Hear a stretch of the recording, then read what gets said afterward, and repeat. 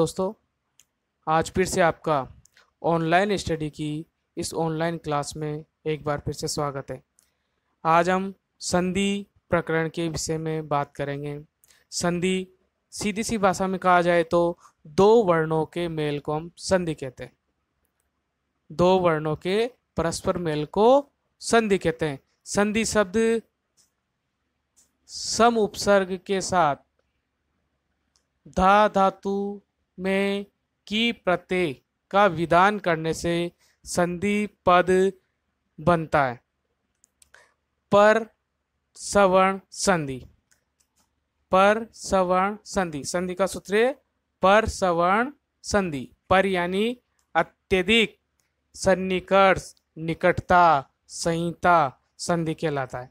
इसकी वृत्ति देखें तो वर्णानाम अति सहित सन्निधि, संहिता संज्ञक स्यात। वर्णानाम वर्णों की अति सहित अत्यधिक सन्निधि, समीपता, संहिता, संधि, संज्ञक स्यात, संधि संज्ञा करने वाली होती है। दूसरा सूत्र देखे तो वर्ण संधानम संधि। सामान्य भाषा में कहे तो वर्णानाम वर्णों के संधानम मेल को संधि कहा जाता है। वर्णानाम संधानम संधि, वर्णों के मेल को संधि कहा जाता है। संधि के लिए एक श्लोक भी है। संहितेक पदे नित्या नित्या धातु उपसर्गयो, नित्या समासे वाक्य तु सा विवक्षाम उपेक्षते।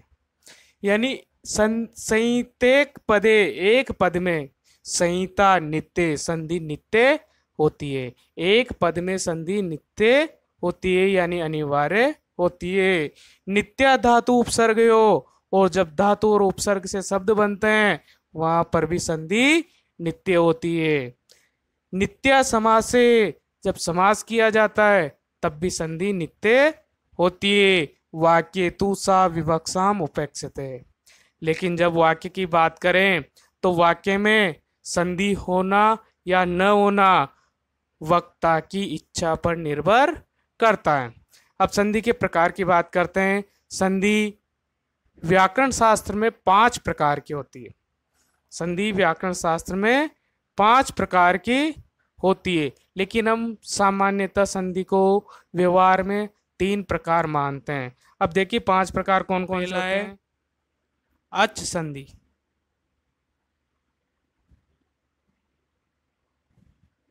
इसी को हम स्वर संधि कहते हैं।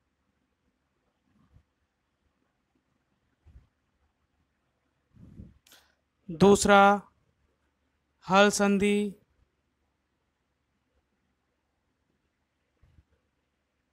और इसी को हम व्यंजन संधि कहते हैं।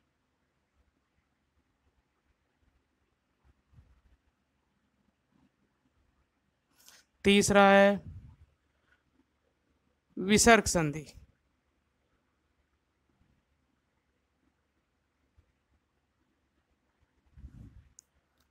चौथा प्रकृति भाव संधि।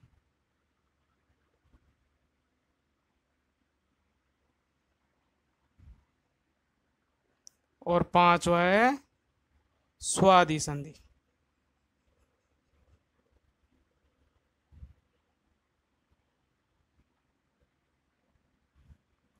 लेकिन मैंने आपसे कहा कि व्यवहार में हम तीन ही प्रकार की संधि का अध्ययन करते हैं व्यवहार में, हम तीन ही प्रकार की संधि को मानते हैं। तो दो संधि जाति का है प्रश्न ये उठता है कि दो संधि जाति का है जिनको हम काउंट नहीं करते, जिनको हम अलग मानते हैं। तो देखिए, एक संधि इसमें प्रकृति, भाव, संधि। नंबर चार, प्रकृति, भाव, संधि। इसको मान लिया जाता है अच संधि का भेद। प्रकृति भाव संधि को अच संधि का भेद मान लिया जाता है। असंधि के सात भेद होते हैं, लेकिन एक आठवां भेद प्रकृति भाव संधि को मान लिया जाता है। स्वादि संधि को विसर्ग संधि का भेद मान लिया जाता है। तो कितनी संधि रह गई अपने पास? तीन संधि और हर एग्ज़ाम में तीन ही संधियों, तीन ही प्रकार की संधियों का हम डिवाइडेशन करके पढ़ेंगे। यानी संधि के तीन भेद होते हैं। चलिए बात करते हैं स्वर संधि की। यानी अच संधि। स्वर या अच संधि।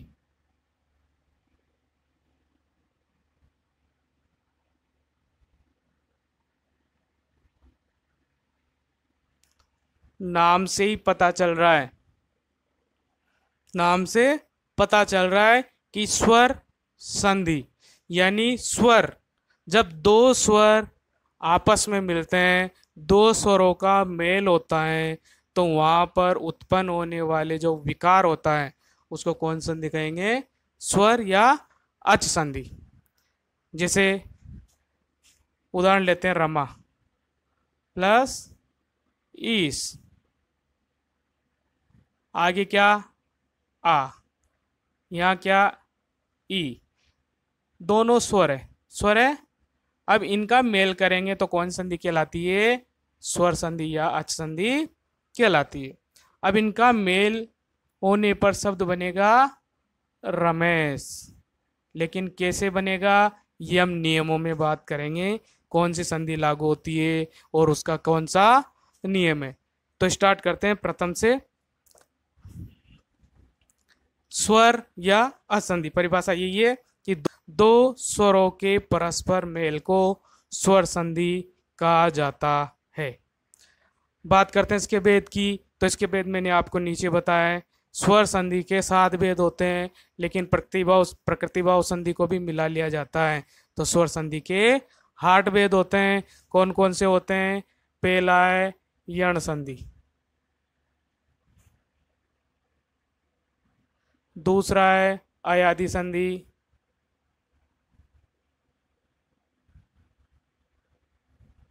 तीसरा है गुण संधि।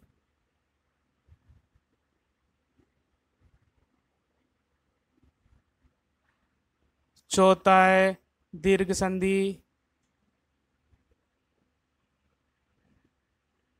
पांचवा है वृद्धि संधि। छठा है पूर्व रूप संधि।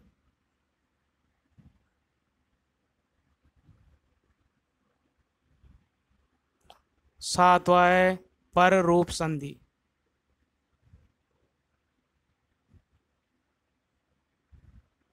और आठवा है प्रकृति भाव।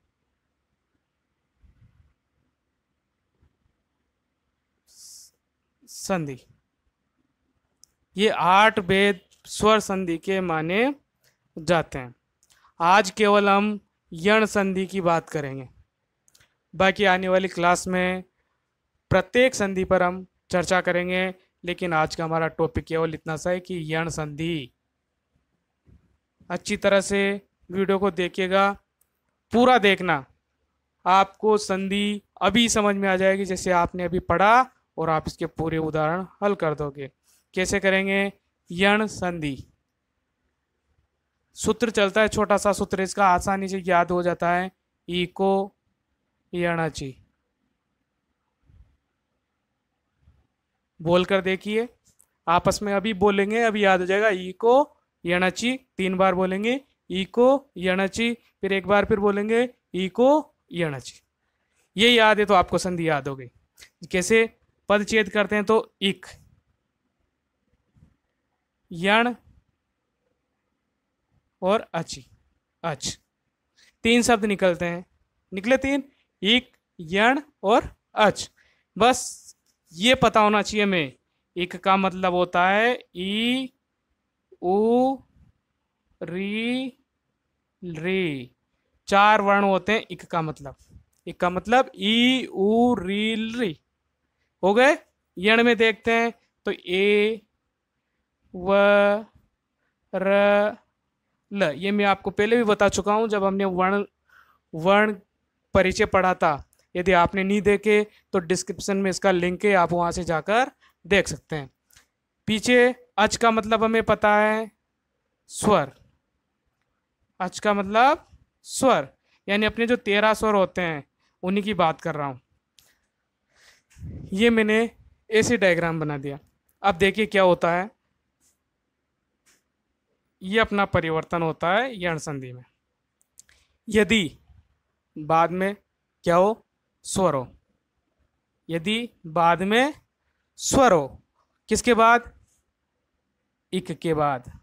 इक का मतलब नीचे वाले चारों वर्णों के बाद। क्या आ जाए? स्वर आ जाए। तो इक के जो वर्ण है वह क्रमशः किसमें बदल जाते हैं? यण के वर्णों में बदल जाते हैं। ई किसमें बदलेगा? ए में बदलेगा। उ किसमें बदलेगा? व में बदलेगा।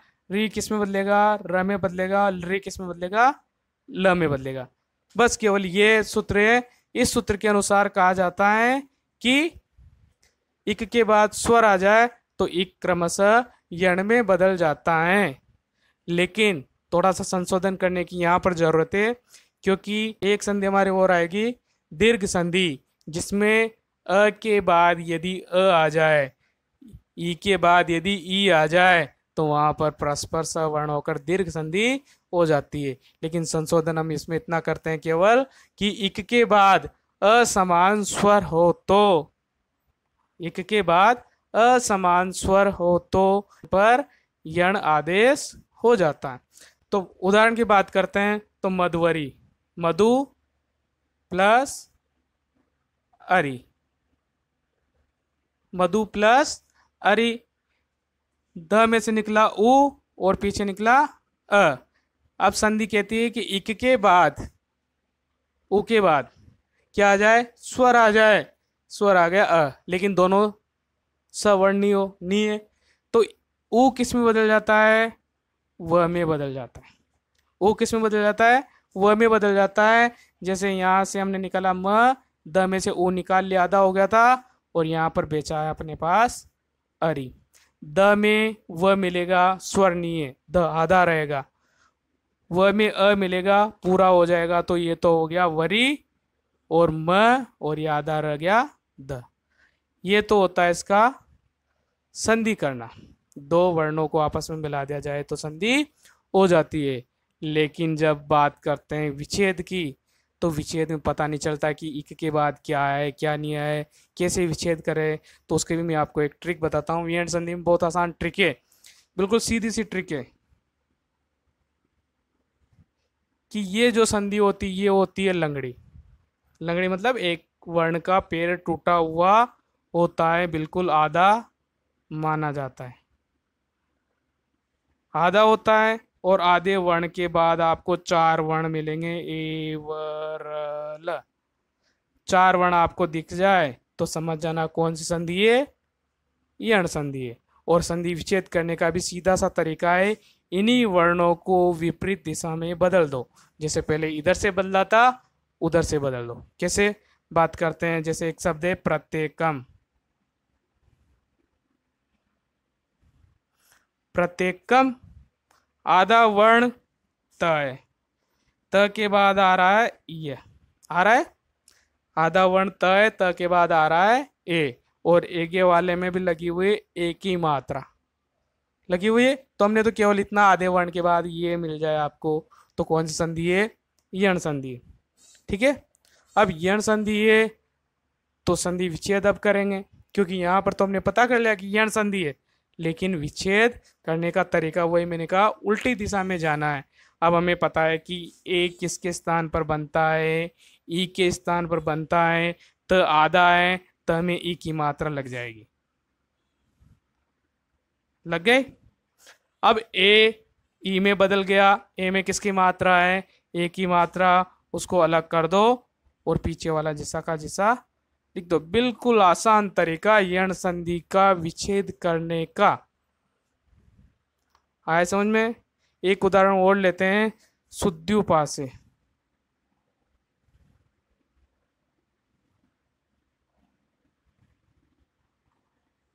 पता करो कि इसमें यण संधि है या नहीं है। कमेंट बॉक्स में बताओ मुझे यण संधि है या नहीं। देखिए, ध, आधा, आधे के बाद वापस क्या आ गया? ये आ गया। इसका मतलब कौन सी संधि है? यण संधि। वही यण संधि? तो विच्छेद करे तो ध, ए आ रहा है, ए बदलेगा, ए में, और ई की मात्रा आधे पे लग जाएगी तो सीधा सा क्या बन जाएगा? सुधी। अब ए में किसकी मात्रा? ऊ की मात्रा पीछे निकल जाएगी प्लस ऊ और पीछे बचा पास से।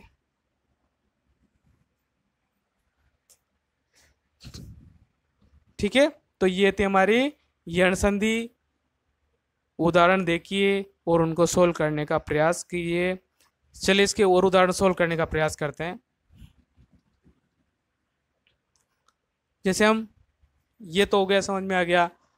अब पहले वाले जो उदाहरण है, संधि करना वो देखते हैं। जैसे उदाहरण आता है धात्रंश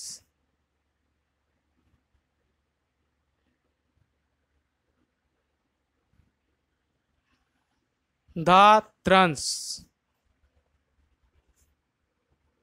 जैसे त्र। त्र किनसे बनता है?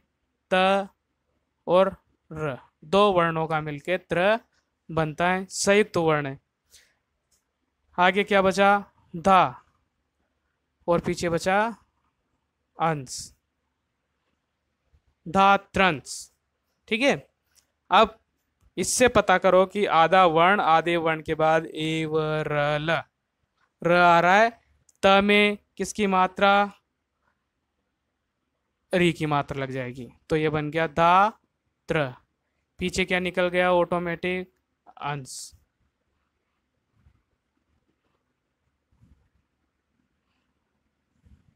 हो गया? एक और लेते हैं। ल प्लस आकृति।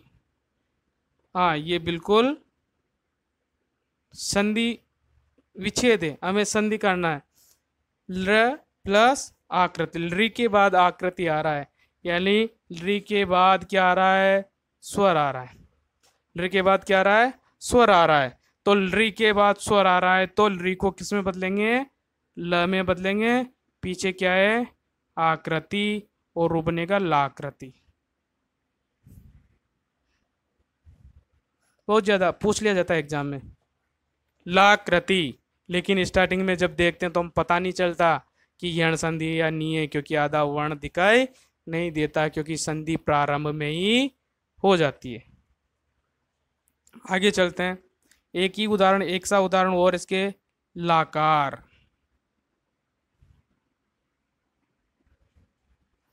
ये इसको आप संधि विच्छेद से लो। ल प्लस आकार। र बदलेगा ल में और ल के बाद आ मिल जाएगा तो बन जाएगा लाकार। एक उदाहरण और लेते हैं। गुरु आज्ञा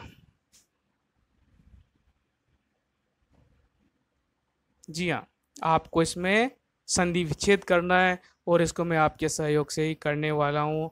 आप दिमाग में सोच के रखिए किसका संधि विच्छेद क्या होगा, क्या इसमें यण संधि या नहीं। ये भी आप बता, बताएँगे मुझे कि इसमें यण संधि या नहीं।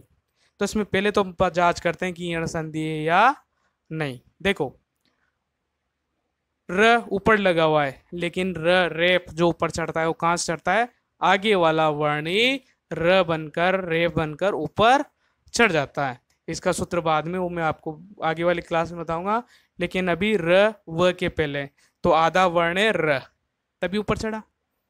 पीछे क्या आ रहा है? व। तो व को किसमें बदलेंगे हम?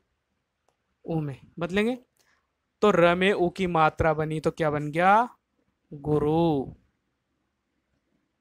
अब व में किसकी मात्रा लगी हुई है? आ की मात्रा लगी हुई है। तो हम क्या कर देंगे इसको? पीछे लिख देंगे और क्या? ये इसका संधि विच्छेद होता है। आपके बिल्कुल संधि विच्छेद बिल्कुल सही जाएँगे। यदि आपने इन नियमों को अच्छी तरह से याद रखा, आपकी यण संधि कभी गलत नहीं होगी। तो आशा करता हूँ आपको आज की क्लास समझ में आई होगी और आपने मनोरंजन के साथ इस संधि को सीखा होगा, क्योंकि ये कौन सी संधि है? लंगड़ी संधि है। आपको तुरंत पता चल जाना चाहिए कि कौन सी संधि है, लंगड़ी है। यदि फिर भी आपको कुछ समझ में नहीं आया, कुछ भी आपको समझ में नहीं आया हो, को भाई ये बात मुझे समझ में नहीं आई तो आप कमेंट बॉक्स में हमें ज़रूर बताएँ। और आपको यदि वीडियो अच्छा लगा हो तो इस वीडियो को आप ज़्यादा से ज़्यादा शेयर करें ताकि सभी के पास ये पहुँच सके।